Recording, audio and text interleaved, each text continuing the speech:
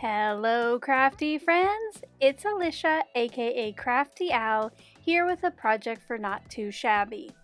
In today's video, I'm going to be using products from their new Cottage Charm release to create this quick, cute, and beautiful cherry blossom card.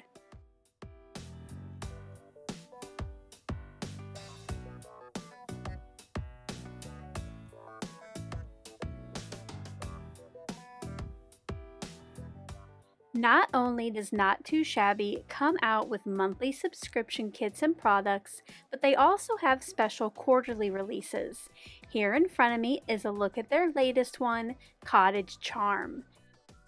I will have links to the new release as well as the specific products I use today in the description box below. Let's get crafty! I'm going to get started by using the cherry blossom background and stamping that onto a piece of vellum. I cut a 5.5 inch square and later I will be die cutting it down a little smaller. Because the vellum is non-porous, I use StazOn ink in jet black. To try and hold my vellum in place while I did the stamping, I added some adhesive to the back and placed it onto the mat of my MISTI. To set up the cherry blossom stamp, since it is see-through, I just put this face down where the vellum was and I just made sure that all of the edges would be covered by the stamp. And then I picked it up with the door of my MISTI. Now as I was rubbing those manufacturing oils off for the first use, I did notice that I had a little bubble in the stamp. So I lifted up the edge and pushed that out before placing it back down. Now because my StazOn ink pad is a little dry, I did make sure to ink this up nice and well. Usually with the MISTI, you can go back and stamp it a second, third, fourth time, but it always seems that when I use StazOn ink, it pulls up whatever paper I stamp it onto. So I do only have one chance here. Now when I thought I had a good, hopefully, impression, I picked back up the stamp or turned the door over and I went over it with my fingers. And as I pulled the vellum away, if I noticed any areas that didn't get enough ink, I would put it back down and press my fingers. And here's a look at that stamped piece. I think it turned out just beautiful. For the sentiment on this card, I chose You Fill My Day with Happiness from the new Good Morning stamp set. I will be stamping this onto a scrap of white cardstock using VersaFine Onyx Black ink. I just like this one when I'm doing detailed stamping like sentiments. Once I got my stamp set up, once again I rubbed off those manufacturing oils since this is my first time inking it up, and then I got it stamped onto the cardstock. Then I brought in the coordinating die and took that off screen to cut it out. Now it's time to add some color to the vellum piece. For this, I'll be using Arteza watercolor pencils. I chose Plum Purple, which when it's blended out, it matched some of the pinks from the ephemera I'll be using later on the card. I am using a blender pen, but if you have Gamsol and a blending stump, you could use that too. You could also use regular colored pencils. I just found that my watercolor pencils work nicely with vellum. Now this is a technique that I shared the other day to create the card that's up on screen now. I will link that video in the description box below, so I won't go over the coloring in as much detail as I did. But basically I flipped the vellum over so the stamped part is below or is on the bottom now. And then I added a little color to the center of each flower and blended that out with the blender pen. Because cherry blossoms are usually darker in the center, I thought this would work well for this piece. You'll see then when you turn it over, it is just a very subtle coloring. Now, one thing I want to mention while I show you a little bit more of the coloring on this is that there are going to be other artists sharing their creations using these new goodies. So make sure to check out the hashtag in the title, which I have up on screen now, so you can go see what they're creating. I finished coloring this piece off camera and you might notice it's a bit smaller now. While I was coloring, I brought in the frame that I was eventually going to use on the card to make sure I had colored in enough area.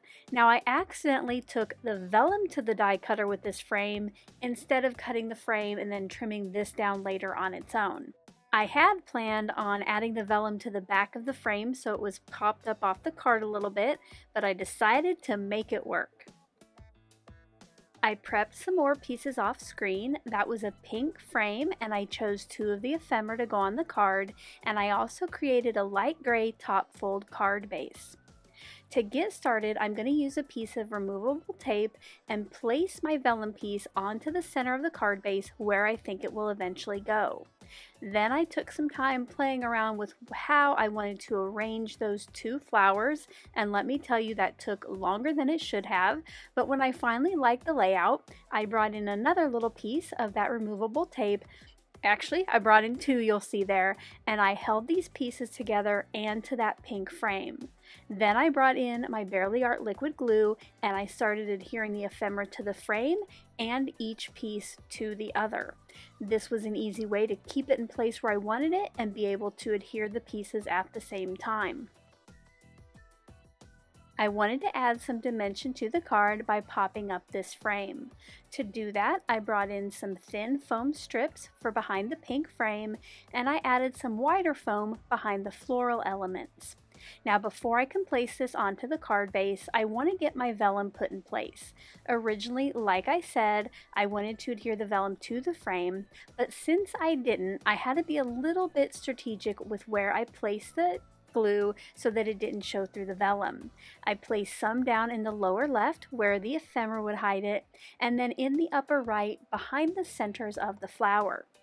Once I had that in place, I pulled the release paper on all the foam tape and then I very carefully and gently started to put my frame onto the card. I wanted to make sure that the frame lined up pretty well with where the vellum would cut off. Once I thought I had a good place, I pressed that down hard, and now we're going to finish the card off with some embellishing. I added some foam tape to the back of the sentiment so it would be at the same height as the frame and then I'll be using some of the pink glittery enamel dots from the new Cherry Blossom Spring Cottage pack.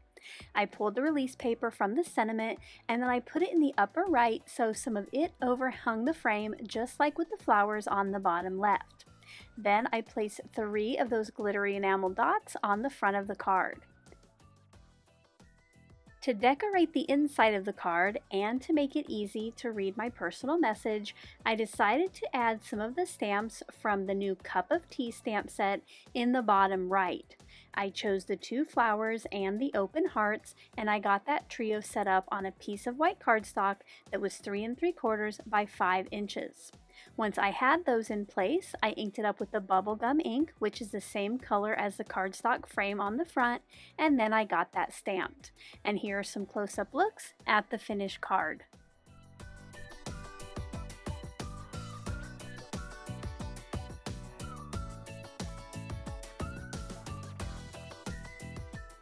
I hope you enjoyed seeing how I created today's card using new goodies from Not 2 Shabby.